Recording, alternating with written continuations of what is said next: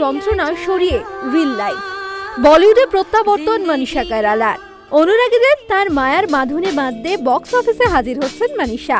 লম্বা বিরতি শেষে নিজের জীবন কেরিয়ার নিয়ে আড্ডা মারলেন ছবির পরিচালক সুনায়না ভাটনাগর ও পরিচালক ইমতিয়াজ আলীর সঙ্গে। To say the right thing, to be seen in the right place, to do it right is it's become like a responsibility. Um, a cinema mein I feel realism has taken more space than melodrama. দক্ষিণী পরিচালক মানিরত্নমের সঙ্গে কাজের অভিজ্ঞতা বদলে দিয়েছে কেরিয়ারের দৃষ্টিভঙ্গি জানিয়েছেন মানিষা নেপাল থেকে মুম্বাই আসার বিষয়ে কোনো পরিকল্পনাই ছিল না ঘটেছে হঠাৎই I did a Nepali film, okay and uh, uh, during that time, it was like uh, during my summer vacation. I was, I my mama, my mom's cousin, he's an FTI product. Okay. I came not knowing anybody.